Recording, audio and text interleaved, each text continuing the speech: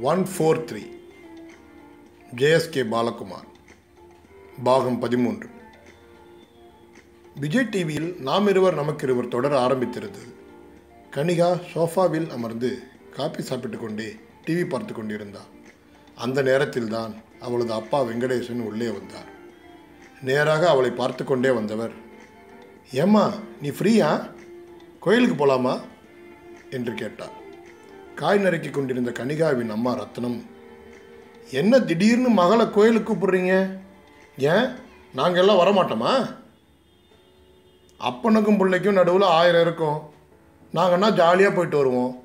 நீ வந்து அதை வாங்காத இதை வாங்காத ஹோட்டல் வேணாம்னு தோணா தோணன்னு சொல்லிகிட்டு இருப்பேன்.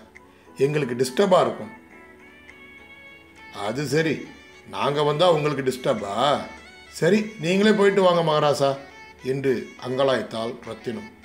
வழக்கமாக கனிகாவின் அப்பா இப்படி மகள்களை கோயிலுக்கு இல்லாவிட்டால் பர்ச்சேஸுக்கு என்று கூட்டிக் கொண்டு போவது வழக்கம்தான். அக்காவுக்கு திருமணமான பின்னர் அந்த வழக்கம் சற்று குறைந்திருந்தது. இப்போது திடீரென்று அப்பா கூப்பிட்டவுடன் விறுவிறுவென்று தயாரானாள் கனிகா அடுத்த கால் மணி நேரத்தில் இருவரும் கபாலீஸ்வரர் கோயிலில் இருந்தனர். தரிசனத்தை முடித்துவிட்டு இருவருக்கும் பிடித்த அப்பத்தை வாங்கி கொண்டு திருமண மண்டபத்தில் ஒரு தூணுக்கு அருகே அமர்ந்து சாப்பிட ஆரம்பித்தனர். ஏம்மா ஆஃபீஸ் வேலையெல்லாம் எப்படி போகுது? வெங்கடேசன் தான் ஆரம்பித்தார்.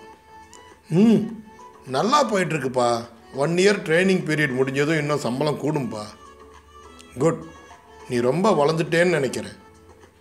ஏன்ப்பா அப்படி சொல்கிறீங்க இல்லைம்மா என் கையை பிடிச்சு சுற்றிக்கிட்டு இருந்த குட்டி பொண்ணு நீ இப்போ நீயே சம்பாதிச்சு கொடுக்குற அளவுக்கு வளர்ந்துட்டல அதைத்தான் சொன்னேன்.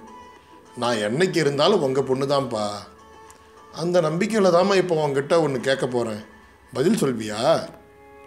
அப்பா பூடகமாக பேசும்போது அத்தை மகன் மணி தன் வேலையை காட்டிவிட்டான் என்பதை புரிந்து கொண்டாள் கனிகா. ஆனால் அதை வெளிக்காட்டி கொள்ளாமல் சொல்லுங்கப்பா என்றாள். ஆஃபீஸில் உன்னோட வேலை பார்க்குற ஒரு பையனை உனக்கு பிடிச்சிருக்குன்னு கேள்விப்பட்டம்மா. சரியா? ஆமாம்ப்பா ரொம்ப நல்லவர்ப்பா. அவரை பார்த்தா உங்களுக்கும் ரொம்ப பிடிக்கும். ம் அதைத்தான் நானும் சொல்ல வந்தேன். நான் அந்த பையனை பற்றி விசாரிக்கிறேன். எனக்கு பிடிச்சிருந்தா நானே கட்டி வைக்கிறேன். ஆனால் அதுக்கு நீ ஒத்து வருவியா? இல்லை உங்கள் அப்பா வேணாம்னு சொல்லிட்டா என்னை தவிக்க விட்டுட்டு போயிடுவியா? அப்பா என்னப்பா இப்படியெல்லாம் பேசுகிறீங்க நீங்கள் விசாரிங்கப்பா. அப்புறம் நாம் ஒரு நாள் சந்தித்து பேசலாம். அதுக்கு முன்னாடி அம்மா கிட்ட இந்த விஷயத்தை பேசாதீங்க. அவங்க அழுது அழிச்சாட்டியம் பண்ணிடுவாங்க. சரி நான் சொல்ல மாட்டேன். என்று வேட்டியை தட்டி கொண்டு கிளம்பினார் வெங்கடேசன். அவருடனேயே கிளம்பினாள் கனிகா. வீட்டிற்கு வந்து சேரும் வரையில் இருவரும் பேசிக்கொள்ளவில்லை. இருவரும் வந்து விடுவார்கள் என்று கணித்திருந்த ரத்தினம் சப்பாத்தியை சுட்டு வைத்திருந்தாள். அதற்கு தொட்டுக்கொள்ள வெங்காயம் தக்காளி தொக்கு செய்திருந்தாள். தந்தையும் மகளும் பேசாமல் அமைதியாக சாப்பிடுவதை பார்த்து என்னாச்சு உங்கள் ரெண்டு பேருக்கும்? கோயிலுக்கு போயிட்டு வந்த மாதிரியே தெரியலையே. ரெண்டு பேரும் பேய் அரைஞ்ச மாதிரிலாம் உட்காந்துருக்கீங்க கேள்வி எழுப்பினாள் ரத்தினம் ஒன்றுமில்லையே நாங்கள் நார்மலாக தானே இருக்கோம்? என்றார் வெங்கடேசன். இல்லையே அப்படி இருந்தால் இந்நேரம் என் டிஃபனை பற்றி லொல்லு சபாவில் ஆரம்பிச்சிருப்பீங்க. அம்மா கோயிலில் கூட்டம் கொஞ்சம் ஜாஸ்தியாக இருந்துச்சு அதனால் கொஞ்சம் டயர்டு. வேறு ஒன்றும் இல்லைம்மா என்றைக்கும் இல்லாமல் உன் டிஃபன் இன்னைக்கு ரொம்ப அருமையாக இருக்குது தெரியுமா? என்றாள் கனிகா. என்னமோ ரெண்டு பேர் மூஞ்சியும் சரியில்லை. ஏதோ எனக்கு தெரியக்கூடாதுன்னு ரெண்டு பேரும் மறைக்கிறீங்க. கத்திரிக்காய் முத்துனா சந்தைக்கு வந்து தானே ஆகணும். என்கிட்ட வருவீங்கள்ல அப்போ பார்த்துக்கிறேன் ஆனால் தந்தையும் மகளும் அதற்கு பதில் சொல்லாமல் விறுவிறு என்று சாப்பிட்டு முடித்தார்கள். இருவரும் சோஃபாவில் அமர்ந்து ஜி டிவியில் சீரியல் பார்த்து கொண்டிருந்தார்கள்.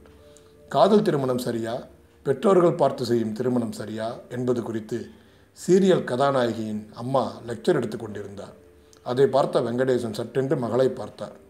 அப்பா சீரியலை மாற்றுங்கப்பா ஏம்மா பெரியவங்க சொல்கிறது கூட பிடிக்கலையா?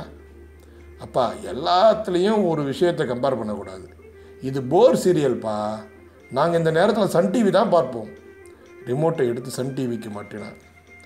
ஏதோ ஒரு சீரியல் ஓடிக்கொண்டிருந்தது. அதில் மனம் லயிக்காமல் வாரப்பத்திரிகை ஒன்றை எடுத்து படிக்க ஆரம்பித்தார் வெங்கடேசன். அந்த நேரத்தில் தான் கனிகாவின் செல்போன் ஒலித்தது. வெங்கடேசன் ஓரக்கண்ணால் இடதுபுறம் இருந்த செல்போனை பார்த்தார். அதில் ஸ்வீட்டி என்று காட்டியது.